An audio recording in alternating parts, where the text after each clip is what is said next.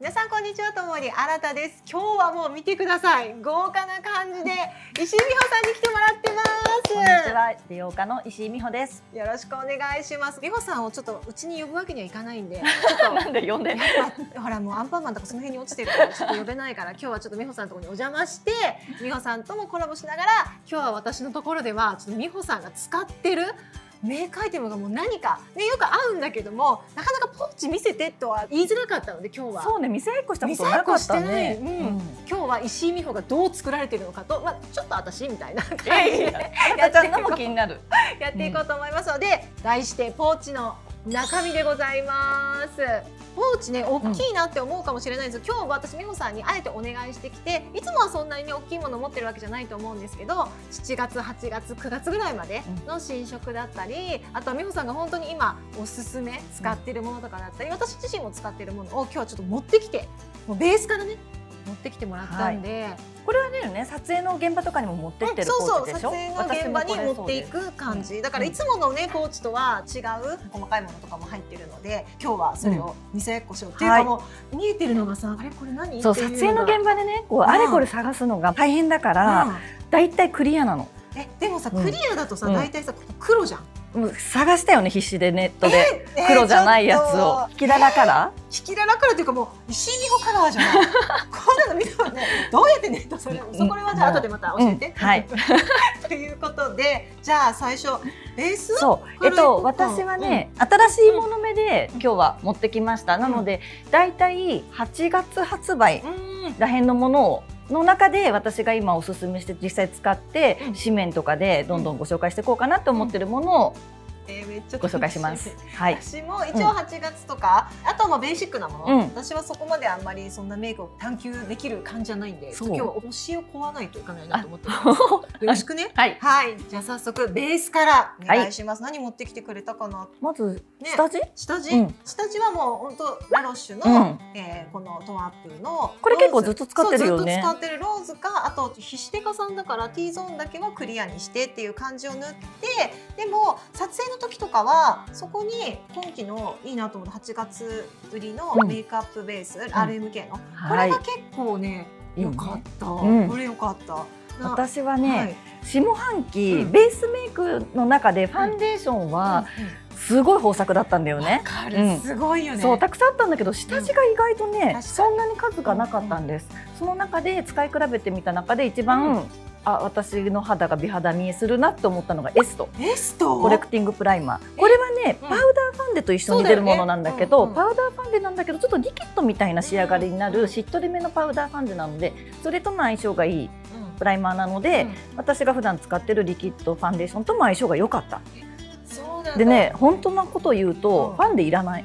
それだけで肌が全部綺麗に見えちゃうから意外というか、うん、私もこれリリースとかで見てて、うん、でもパウダーの下地、だからあんまり私もともと自分がさリキッド派だから、うん、パウダーの下地だからリキッドと合わせるっていう感覚がなかった。あ本当に、なんかね色ムラとかが隠れて、うん、これだけでもファンデ塗りたくない人これだけでもいいと思う。ちょっとすぐすぐ買おう、うん、これねちょっと先になっちゃうの。発売が多分9月かな。うん、だけど、待ってぜひ試してみてください、すごい、これちょっとポイントだわ。これね、そうそしてファンデーション。は豊作で全部いいんです、今季は、なんだけれども今暑いのでリアルにこの暑い夏に私が一番毎日使ってるのは RMK、えーなんだ。そうこれ、RMK のこのリキッドファンデっての四角い瓶でもうこういう感じよね。そうそう15年間ずっと同じものを売り続けてたんだけど、とうとう新しいラインがもう一個出るんですね、今までのも軽やかで透明感があって素肌感を隠さないっていう感じだったんだけど、今までのそんな感じをキープしながらでも隠したいところは隠してくれる。なんかさ RMK ってメイクは初心者っていうか初めましての人が塗ってもいい感感じのファンデーションあとなんか若い子が使ってたイメージだから私にはもう縁がないと思って、ちょっとベースメイク遠のいてたんだけど、今回のは RMK は大人も使えます。ちょっと、あそう、うん、意外盲点だった。すっごいよ。そして綺麗なツヤ。ツヤツヤそう。ツヤ。だけどなんかぬるぬるのツヤじゃない、うん、一番良かったのはこの一番暑いさなか、マスクにつきにくい。えそうなの、うん、こんなに艶っぽく仕上がるのにマスク外した時にほぼついてない、えそれ美穂さんの塗り方だもちろん薄付付きにつけてるっていうのもあるんだけど、薄付きにつけてもちゃんと隠れてくれて、綺麗に作れるからあんまり厚く重ねないでも綺麗に見えちゃう。だからマスクにつきにくいっていうのがあって今本当に毎日これ。すぐ買いに はい。私はまあまあこれはねすごい私の YouTube でもよく言ってるからこれよかったね。私はファンデーションはこれもう薄デコのゼンウェア全ウェアこれはもう私もすごく同じような感じになっちゃうんだけど薄付きだけどちゃんと隠してくれて、うん素肌感がめちゃめちゃ出るっていうので私はこれもう本当に大好きあとこれちょっとオイリー肌の人が好きな気がする、多分、うん。いわゆる一般的なツヤ肌用のやつだともともとベースがオイリーな人だとテカテカしすぎちゃうっていうところでツヤ肌ファンデなんだけど、そこまで。そうだよね、うん。ちょっと上品なツヤ？そう。なんか控えめな。一応マットまではいかないんだけどセミマット的な肌にしますよなんですけど私の天然の油と合と合わさっってちょうどいいよね。わかる。うん、だからさ私たち多分肌質が全然違うんだよね。私は乾燥肌で、うん。なのでとにかくツヤを出さなきゃいけないし、新田ちゃんは多分もともともうオイリー肌だから、えツヤですか？テカリですか？だからどっちかというと抑えつつでもパサパサするのは嫌マッだからトに仕上げたいわけじゃないんだよね。もし見てる人が、乾燥肌よりだったら美穂さん、うん。テカテカさんと私みたいな感じで見ていただいてもいいかもしれないね、はい。じゃあ次がそれで言ったら次はアイシャドウ？アイシャドウだうんね、、どうぞ一応さ一個ずつ。一個ずついこうか。んん。じゃあ先に。行くね。うん。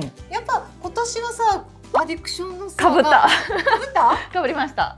アディクション結構さいろんな色が出てて4色パレットが初めて出たんだよね。そう。そう。うん。結構な数。10種10種類ぐらいうんうん。4色パレットが一気に出あるの中でどの色？え私はねこれね005番 ?005 番、私は008なんか美穂さんっぽい。ぽい？そう赤み、うん。もうまさに。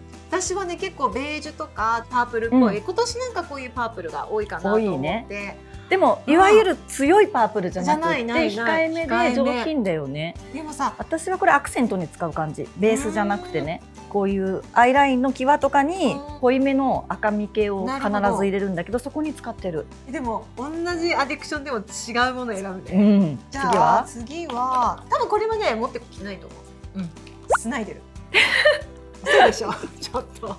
ねスナイデルは使わないでしょ。スナイデルのこのパレット好きなの？私も好きなの、え一緒？せえだって今回のやつね。そう一緒。一緒。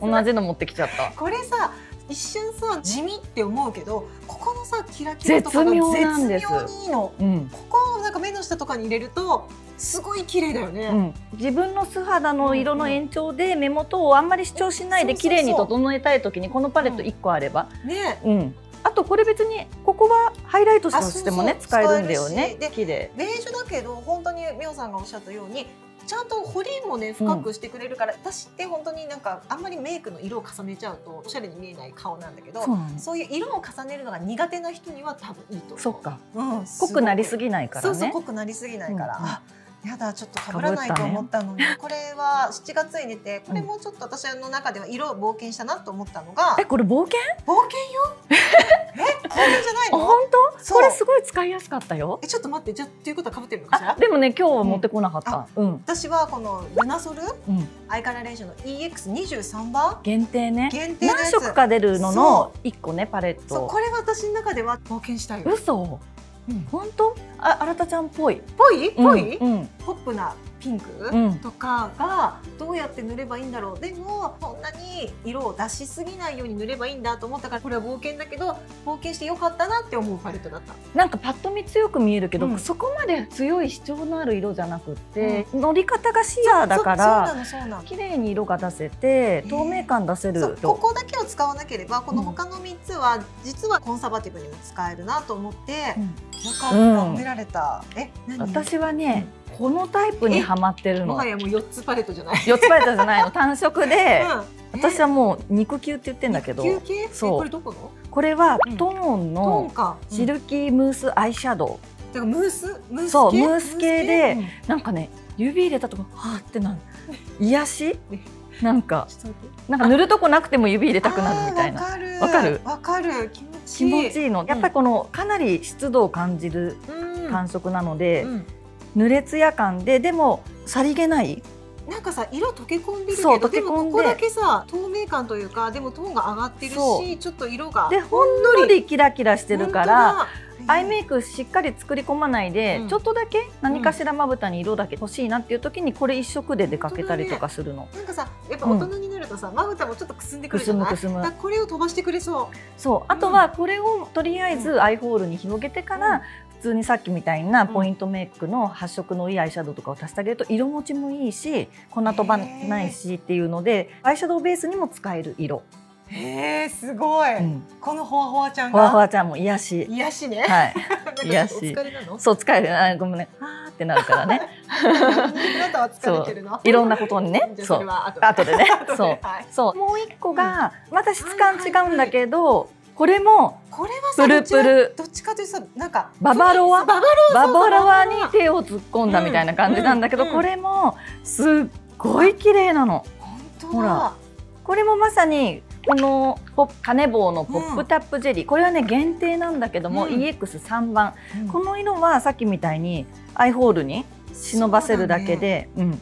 綺麗に。あこれも綺麗だね。綺麗でしょ？そう。もう一個、これは黒目の上とかのまぶたの高いところに入れてあげるとあツヤ感がすごい、えーこれこんなんなそうなるんだ。のそすごい。うツヤ感がすごいのよ。えだってこのなんか黄色っぽいだってポップアップそうなんかちょっとねうん。色がそう。これで見るとえ？って思うんだけど乗せるとね。そうだって黄色っぽいのどこにって思うけど乗せたらすごい。そうなの。だからちょっと高く見えたいところとか、うん。あとは下まぶたのねキラッとさせたいところとかに塗ってあげるとこれはねすごく効果的に全体には塗らない方がいいと思うんだけどポイントで使うとすっごい綺麗。私なんだろうラメじゃなくてこう変更パールそう変更パール、なんか赤みの変更パールが目元をなんか明るく見せてくれる、ハイライト的なツヤツヤしたやつって、中に入ってるラメによっては逆にくすんで見えたり、うん汚く見えたりするんだよね、これはねそれがないの。なんかすごくメタリックに見えない綺麗なツヤ。ちょっとこれも書いてます。はい。はい。限定です。あお願いします。はいす。じゃあ次はアイライン？ねはい。アイライン。私はねもうねそんなに色を変える感じじゃないからこのラブライナーのリキッドアイライナーのこれ多分ね DBR って書いてあると思うから定番色だよね。もともとある色本当にこういうもう普通のいわゆる濃いブラウンっていう感じ。うん。私カラコン入れてないんだけど、うん。目がちょっとね薄いよね。薄いの、うんだから綺麗な黒色を入れると浮いちゃうところがあるからこういうあブラウンがいいんブラウンを入れることが多いしあとはちょっと前魔女魔女のやつ。これまぞまそうぞ BR713 この色が似てるんだけどちょっとね明るいの。あ本当だ。明るい感じだから赤みのあるものをつけるときにはこっちを使ってます。すこれかこれって感じ？これかこれ。大体。でも私も普段の定番はうん。普通に黒とか茶色のライナーを使うんだけど、今季新作の中で新作。おこれは買いですよと思ったのがうんねスリー。ねこれ綺麗だった確かに。そう。えこっちのこれこれこれこれ。こっち？こっちです。こっちでしたか？もう一個のもよかったけど、これね、なんかパッと見オレンジで難しいと思うんだけど、そうでもないの。なんか結構肌に馴染むしあとね、うん。全然落ちない。あこすっても何してもほら全然。びくともしない、うん。これイメージね。色があると落ちちゃうんじゃないかって思っちゃうのよ。全然落ちないの。だ。からこれを今私目頭側上も目頭これが入ってるしあと目尻もこれが入ってる、えー、本うん、肌にのせるとそんな当オレンジじゃないしね。オレンジじゃない粘膜カラーみたいな感じにかなってくる、本当だあった。あったでしょ？いたいたいたいた。いた。いました、うん。この子がいました。そう。プラス、うん。さらにもう一箇所使ってるの？わかる？ちょっと待って。根本先生綺麗。いやいやいやいやいやわかんない。綺麗すぎてわかんない。これね、涙袋描くのにいいの。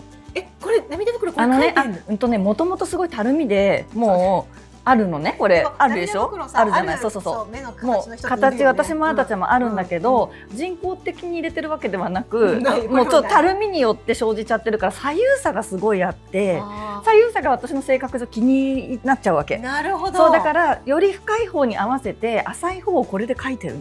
こっちを描いてるの、そう、うん。こっちを描いてるの。本当だ。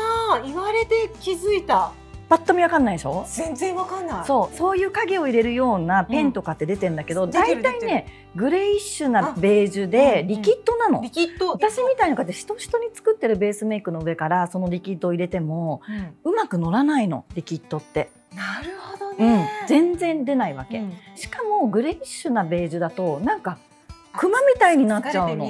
そう。だからやっぱこのぐらい赤みとかオレンジみがある色の方が疲れて見えない。だからこれね結構しっかりつくからこれをアイラインみたいにがっつり入れなくて、うんうん本当に薄く圧を変えると薄くつけられるから、うんうんほぼ圧をかけないでさって入れてあげると涙袋が作れます。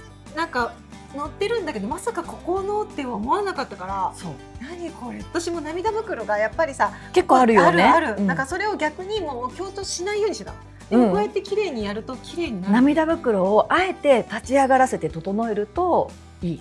立ち上がらせる。そう。立ち上がらせるわ使ってこれ。使う使う。ねすごい、はい。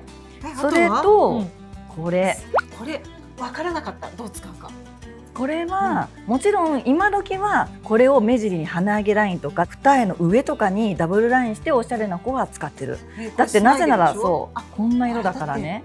ニュアンスカラーもミルキーな。そう。私はこれを目の下の粘膜のところに引いてるの。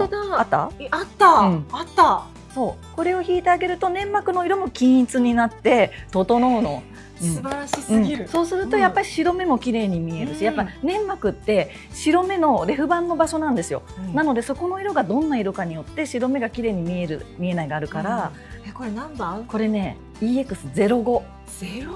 これも8月なのかな、でも限定になっちゃうんだけど要チェックです。えだって私これ見た瞬間にあこれ私じゃないなっても思っちゃうよね。こんなポッププなの使えないと思うじゃない。使えないと思った。場所によるんですよもう一個はこれは？あこれもう一個は少しあもうこれはもう意味わかんなかった。グレーみ？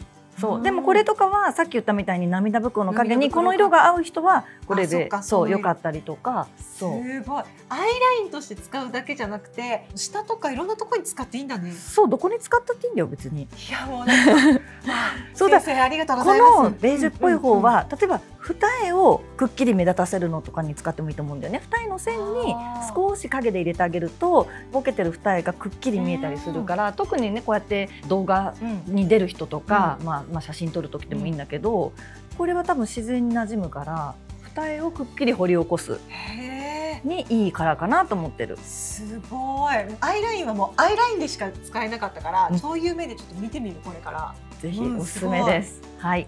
じゃあ次はチークだね。はい。チークは私はずっとこれなんだよね。あ、かぶっちゃった。かぶった？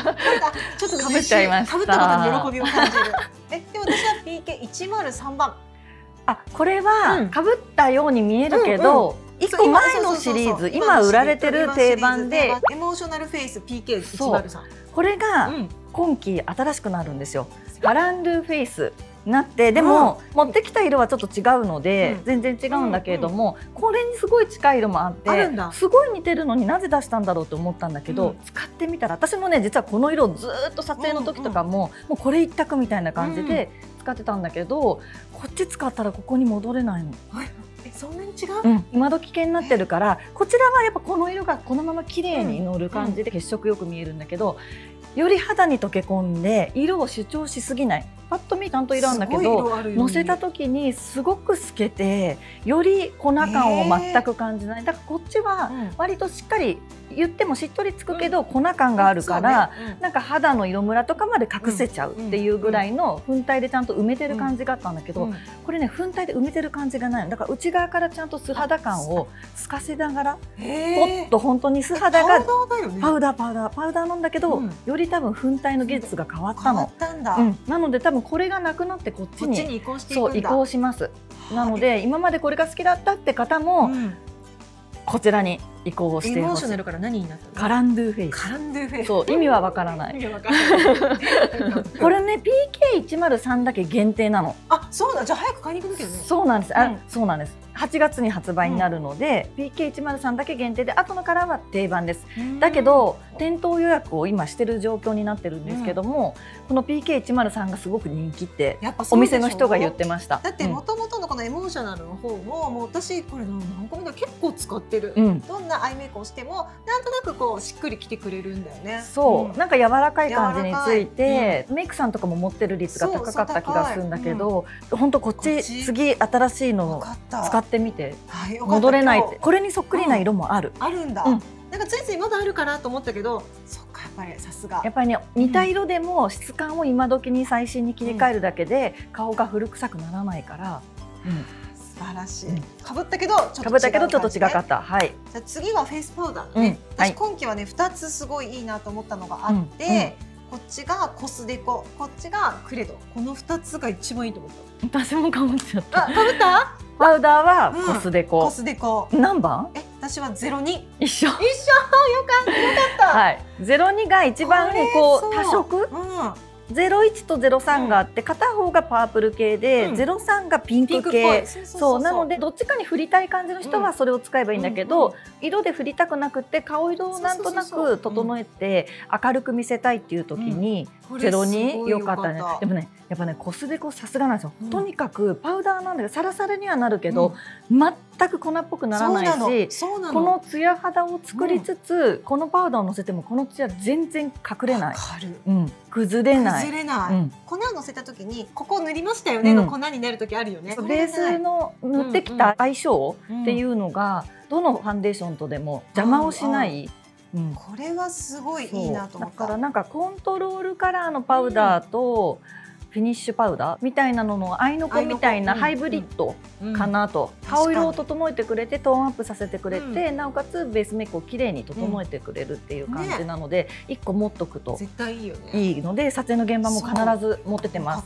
う。ん、ハイライトは私はね、こっち？あこっち。キラキラ系キラキラ系だけど、これねそう。このねレオスールデクラがもうさなんでカタカナも読めるの？みこう見て覚えてる覚えてる。すごいね。は今回全面リニューアルで、そうなの。大人気で皆さん何個も買っていて、ハイライトはこれでなきゃダメって思ってた人たちにさらに進化させたんだよね。私この21番のこの青みのパールがすっごいこの辺に乗せると時に元気にフレッシュに見せるすっごい私これ最初はもうリニューアルって言ってもそんなに大きく変わらないかなと思ったけどさっきの、ね、リニューアルで全然今時になるっていうのの、うん、私はもうこれがそれを思った。21番ね。番、はい、私はハイライトはなんかあんまり顔全部に使うことはなくって、うん、ポイント鼻先とか、うん、鼻筋とか、あと目頭とかあと唇の上とかだけ、あとは撮影の時だとにって笑った時にここにツヤ玉をくださいって言われるので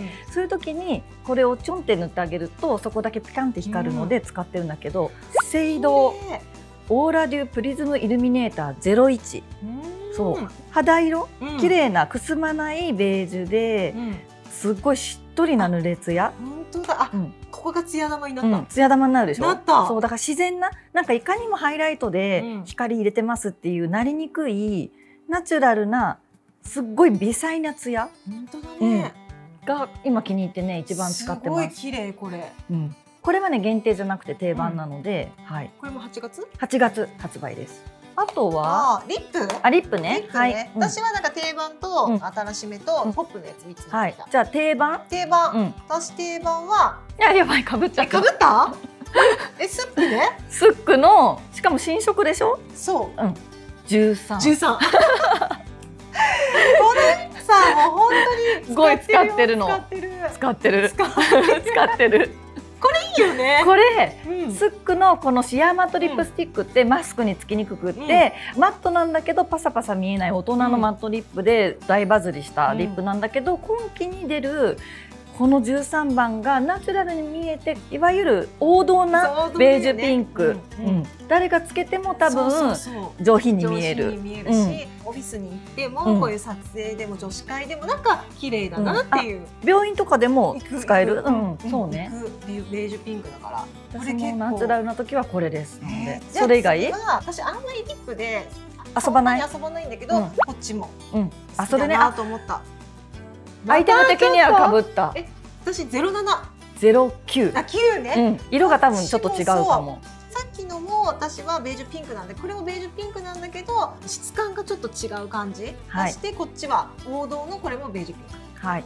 私のはね少し発色が強いんですけど、うんコスメデコルテルージュデコルテリキッドっていう新しいリップなんだけど、これは別の名を加湿ルージュ、加湿ルージュ、うん、もう加湿を常に塗ってる間されてるみたいにずっとふっくら潤ってくれるみたいな。一回塗ったらなんかずーっそうなのとそうなの、え色全然違うよね。ちょっと私はコーラルの強い発色、私こういうあ落ち着いてるね。落ち着いてる感じ、うん全然違うね、うん、前だったらこっちを選んでたのに。前はなんかあんまりさ色をのせない感じだったよね唇に色をのせませんってうん言ってたんだけど、色がないとね顔が耐えられなくなってきてるわけ。そんなことないけど。そう綺麗でしょでこれでも似合うよ似絶対に。すごいなんか似てるんだけどやっぱ違うね、うん。撮影の時とかはやっぱりライティングで明るく飛ばされたりするから、このぐらい発色がいい方が綺麗に映るなと思って、うん。撮影の時のリップって多分あんまりマットに私はしないようにしていて、なのでこの加湿ルージュこれがねとても今撮影で大活躍してます。しっとりしてんだけどそんなにベタベタはしないの意外と。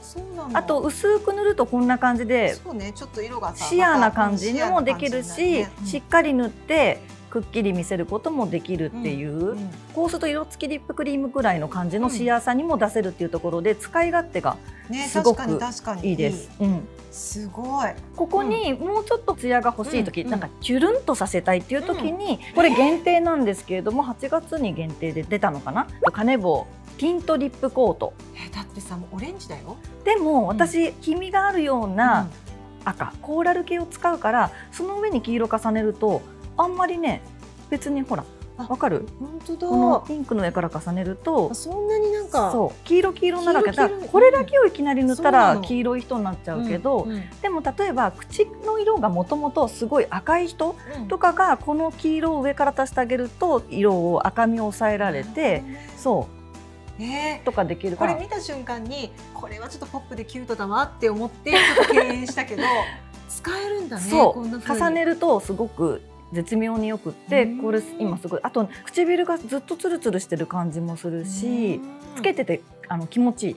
ケアされてる感じがすごくいい。ベタベタしない、うん、なるほどね。これもチェックします、はい。じゃあ続いてはあんまり使わないと思うんだけど、うん。コンシーラー。あ使う使う、使う、うん、目の下はねすごいの。わかる。私も目の下がちょっとクマさんだから。コンシ私ーラー何？は私こっち。あボビーのこそれね。これもいい、うん。私やっぱ青グマなの青青いの。ちょっとオレンジがあってオレンジすぎないよね。レンジすぎない。ピタッとつきながらほんとトントントントンってやると隠れてくれるからこのスキンコレクタースティックのライトピーチ。うん、ライトピーチ、うん私もねあるよポーチの中には。ある？ある？あるある。あいたいたいたいた、うんうん私おすすめしたいのはコスメでこれね。これね。あの前に初めて出た時に大人気になったトーンパーフェクティングパレットうん。が色がちょっと濃かったんだけど、うん。今季新しい明るい色が00番っていうのが出ました、うんなのでこれがとっても私はここの色。あわかるわかる。ここの色をね目の下に忍ばせてあげると、これのすごいところは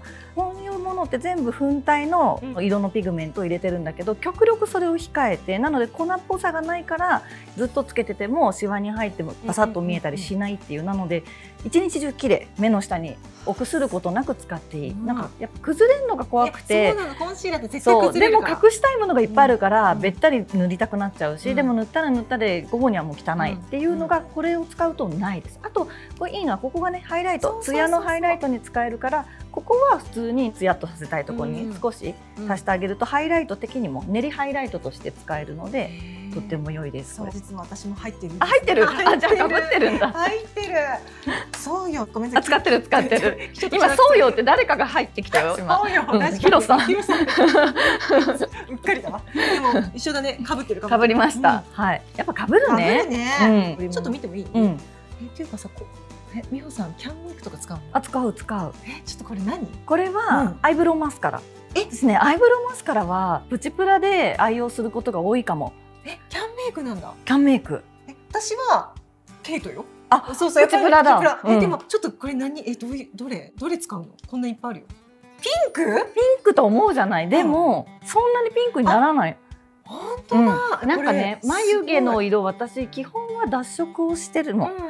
ごいうんうん主張させないような色にしてるんだけど、色が濃くなってくると、これを使う。これ何番？N01 だって、うん、01スマートミニアイブロウカラー。カラーそう。で、ブラシも細めで、ね、そう、うん、ベタってつかないから、うん。私は毛がほぼないのね。あないんだけどあるように書いていて、うん。べちゃっとついちゃうやつだと、少ない毛がベトっと束にされちゃって、汚くなるんだけど、うん。これは綺麗に細い毛たちもうまくすくってくれてなんなら毛の主張をちょっとさせてくれるから、すごい生えてるように見える。そして全然落ちないしカラーがとっても良かった。4色なんだけど、うん。私特に使うのはこのピンクか、うん。あと普通の茶色、あこっちは普通のこれナチュラだから新田ちゃんとかはこれいいかもしれない、うんこっちいいね。これ何番だ、ん。このちょっとピンクっぽいのが N01、うん。こっちの普通の茶色が01うんなんだ、そう。だから N とあれが違うんだね。そう。ナチュラルなブラウンがいい人はこっちがいいし、うん。メイクとかがピンクみっていう感じの人だったら、これね使って全然そんなびっくりするピンクなえーなんか今日つけてるよ。だって。え待ってないでしょ？全然わかんない、うん。そこまでピンクピンクってししててない。ないのしてないのパッケージがなんか絶対ピンクなイメージだからいやお姉さんにはって思ったけど可愛いね全然大丈夫。えー、すごいなんか、面白いね人のポー面チって白い、ねなかなか見せることないからね。見せることないから、よかった。私自分の YouTube でもあのメイクのこんな道具を全部見せたことないかもしれない。りがとうねや今日本当にありがとう美穂さんこちらこそですっていうかでも後でちょっと本当聞きたいこともたくさんあるんで終わったらお茶しようはいお茶しましょう はといいうことで私のチャンネルではこうやって美穂さんのおすすめだったり私が使っているメイクの中身をご紹介したんですけども美穂さんのチャンネルでも今度はスキンケアをやってますのでぜひぜひ美穂さんのチャンネルもご覧になってください。はいよろしくお願いしますはい、じゃあ皆さんまた次の動画でお会いしましょう。さようなら。